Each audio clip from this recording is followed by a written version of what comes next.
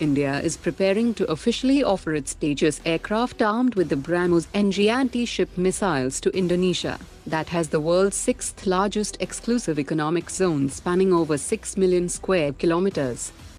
Bengaluru-based startup Arctus Aerospace has conducted the flight test of its fixed-wing drone. Solar Group has successfully test-fired its Bhargavastra counter-drone system. Adani Defence manufactured Drishti 10 drone has crashed in Gujarat yesterday during Navy's pre-acceptance trials. Turkey's Anka 3 UCAV has successfully conducted its first internal payload munition release at an altitude of 20,000 feet and a speed of 180 knots. Prime Minister Modi has commissioned INS Surat destroyer, INS Nilgiri frigate and INS Vaghsheer submarine. Reliance Jio has become the first telecom operator to provide 5G connectivity to the Indian Army at the Siachen Glacier. Gas Turbine Research Establishment has been waiting for the past nine months for a slot to retest the dry Kaveri engine in Russia. Indian Air Force has decided to outsource the repair and overhaul of its Mi-17 V5 helicopter engines to private Indian firms. The DRDO is set to conduct additional trials of the 300 km range Rudram 2 air-to-ground missile by end of 2025 from Mirage 2000 fighter jet.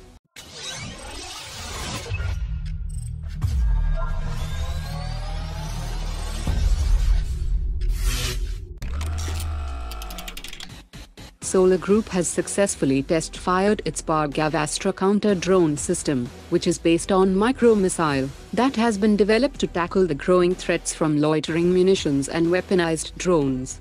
The micro-missile hit a virtual target 2.5 kilometers away during its first test, and again it successfully targeted a moving electronic UAV Mimic at the same location. It has a capability to detect drones with radar at 10 km range for medium and large drones, and 6 km range for swarm drones and low radar cross-section targets, across diverse Indian terrains up to 5,000 meters altitude. Lockheed Martin has intensified its efforts to persuade the Indian Air Force to procure its latest iteration of the F-16.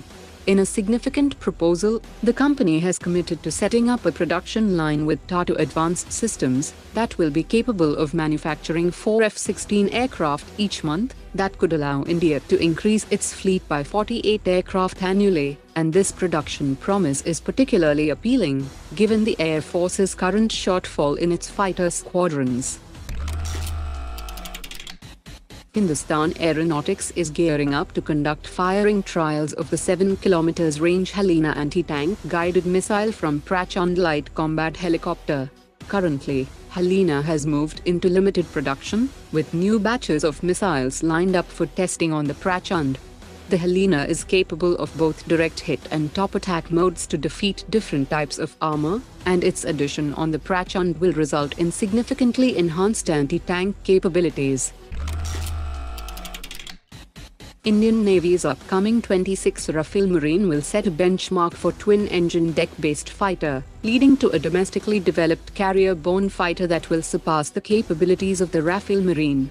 While the TED-BF will get some of the technologies developed for the AMCA program, Indian engineers can study components of Rafale Marine and adapt similar technologies for the TED-BF program, potentially improving upon them with indigenous innovations.